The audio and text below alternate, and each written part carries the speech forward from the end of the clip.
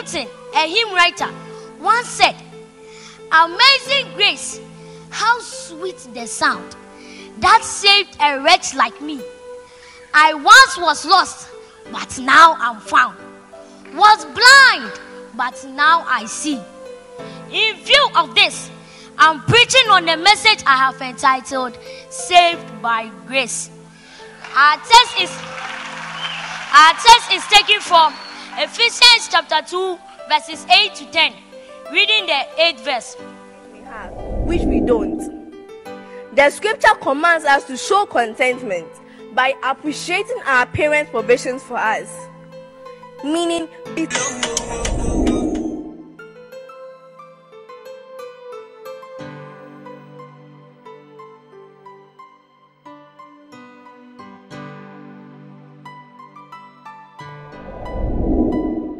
Hello, family. This is Pastor Gideon. Welcome to Kingdom Matters, where we answer difficult questions people have regarding the faith, as well as add our biblical perspective to issues making round that affect our kingdom. One of the things that shouldn't have ended up in a competition is preaching, but in Ghana, everything ends up being a reality show, and preaching has not been an exception. Today, it is no more being shown on TV, but some few years back, there was a reality show for children that sought to find out who was the best preacher among children or child preacher. Yes, there was a whole reality show on TV that featured children delivering messages to be ranked based on delivery, eloquence, and articulation. And based of that, they were given awards and scholarship and many things to encourage them in that endeavor. Many years after, not much have been heard about a number of them. We hope they turn out to be great ministers of the gospel and to represent Christ in whatever field they find themselves later in life. But one has been trending this week with bad news of dancing seductively to music on TikTok. It is our prayer that she finds her way back to serious fellowship with the Lord. But how can this be avoided? Number one, I have said this and I'm going to say it again. In children and young ministers of the Lord, the focus of training should not first be about excellent delivery in ministry. That is a wrong foundation. Being the best preacher is not a guarantee that you are saved. So, the first aim of a Christian minister of God, young minister of God, or a child should not be how to be homiletically great. There are about two to three layers that must come way before being a good preacher or teacher. Now, the first layer in building a life or ministry in Christ is first knowing the Lord. How could anything come before knowing the Lord? It is the first thing, it's about knowing the Lord. Today, many young ministers are taught to rehearse preaching and to be great in their delivery of the word of God, but many of them don't know the Lord. They don't know the Lord they sought to preach. This makes preaching to be a nice occupation like any other secular work instead of a ministry from the Lord. Because whom are you going to preach? The one you are supposed to preach, you have no idea of. Now, this approach will only train the head and the mouth to speak for the Lord and not the heart to know the Lord. And that is very, very dangerous because a minister who has not known the Lord is capable of any evil in the name of the Lord. With time, if God does not help, you can become anything at all because you got into the ministry the wrong way.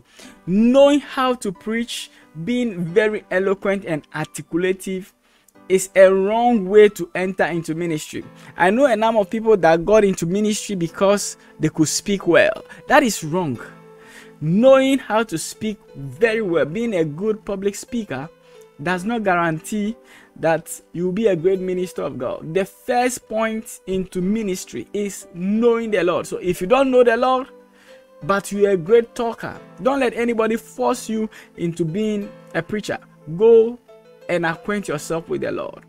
Now, the second layer that must come, which you must have before being a good preacher or an eloquent speaker, is discipleship.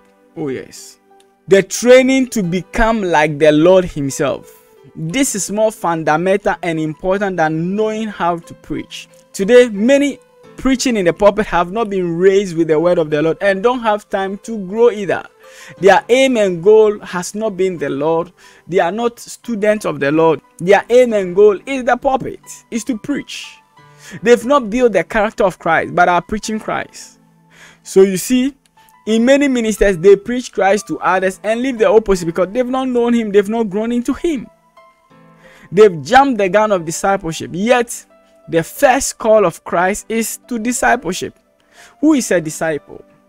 A disciple is a student under discipline. So, before you become an eloquent preacher, you first must have been a student of the Lord Jesus Christ understanding the Lord, learning everything He taught, learning the doctrine of Christ and how He wants His children to conduct themselves way before getting into the art of preaching. In talking about the model minister, Apostle Paul likens him to three things. The model minister must be like a soldier, an athlete, and a farmer. And the common denominator for all these three is discipline. A soldier must be disciplined, an athlete must be disciplined, and a farmer ought to be disciplined. If not, they are not going to get the outcome they want. To be a soldier will require you to be retrained and to be delivered from all your civilian traits. The same for an athlete. One must learn to keep their bodies in shape. If not, they are not going to win anything. Yes, and the same for a farmer. A farmer will plant, will go through all the sacrifice and must still wait. He cannot harvest before a certain period. Yeah, that is discipline. Until you have this discipline, you can't be a great minister of the Lord Jesus Christ. Until one has been properly discipled, knowing how to preach very well, is just building castles in the sky. People will hail you, but the question is, does the Lord know you? It is just a matter of time and they will miss God completely. That's why we are not supposed to ordain novices because it may do them more harm than good in the future. 1 Timothy 3 6 says, Not a novice, lest being lifted up with pride, he fall into the condemnation of the devil. So let's do things properly and in order. Do you see yourself as a young minister? Do you see yourself as one that has been called? Don't focus on being very eloquent and articulative. Don't look for the schemes and the methods to use for people to clap for you as you preach. First, know the Lord. Be sure that you know the Lord and you are saved. Secondly, become a student of the Lord Jesus Christ. Begin to make time to study his will, his messages, master the New Testament, understand the doctrine of Christ. Then and then can you learn how to preach. And even when you start preaching, don't be in the best preacher competition because it won't help you.